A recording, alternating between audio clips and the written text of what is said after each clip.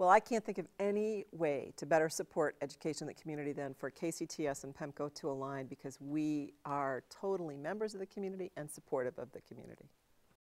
PEMCO Insurance, a Northwest company, is proud to be a longtime supporter of the KCTS Golden Apple Awards that honor Washington's best teachers and programs, some of which are a lot like us, a little different.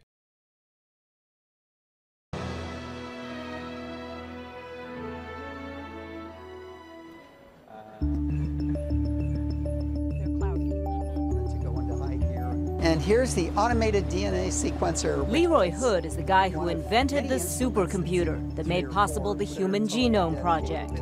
He's the guy Bill Gates recruited to the UW to create a new biotech department.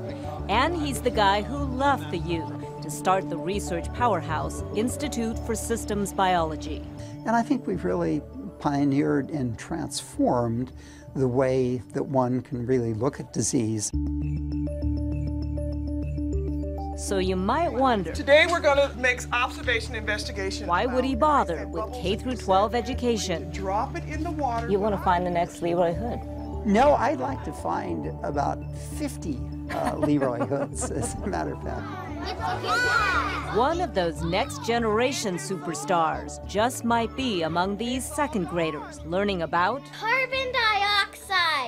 Or they might be among the fifth graders learning about variables. 25, 26. Ready? Go ahead. Oh, that's exactly three centimeters. The way to nurture their interest in science, Dr. Hood decided. Okay, so at 25 it went halfway. Is to nurture their teachers. So under the microscope, this is magnified only 10 times, but you can see a lot more clearly. Uh, so the Institute for Systems Biology oh, wow. partnered with area school districts, bringing teachers together with research scientists for hands-on and online learning. You can tell that those cells are metabolizing the fatty acids. This is hard to admit, but I felt like I didn't even have the science background to teach fourth and fifth graders science. And I don't feel so intimidated teaching science anymore because of this. Scientists are usually interested in results. So what are the student achievement results that you're seeing with this program?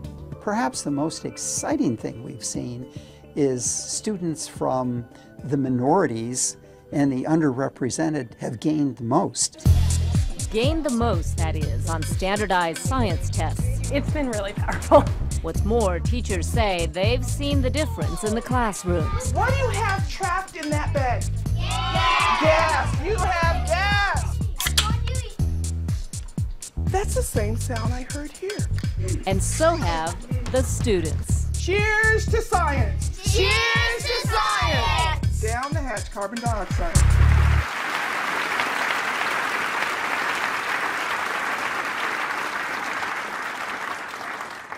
It's a, it's a huge privilege to accept this award on behalf of the Institute for Systems Biology and all of our wonderful partners. I was drawn to the Institute for Systems Biology because of its leadership and the way that they've been able to recognize that their scientific advancements really are changing our society, and their complementary commitment not only to the education of future scientists, but also to the development of a, a scientifically literate society. To achieve this educational commitment, the founders of ISB recruited a group of science educators who are now known as the Center for Inquiry Science at the Institute for Systems Biology. By strategically partnering the ISB with regional school districts over a period of time, the work for the Center for Inquiry Science has truly changed the course of science education in the Puget Sound region.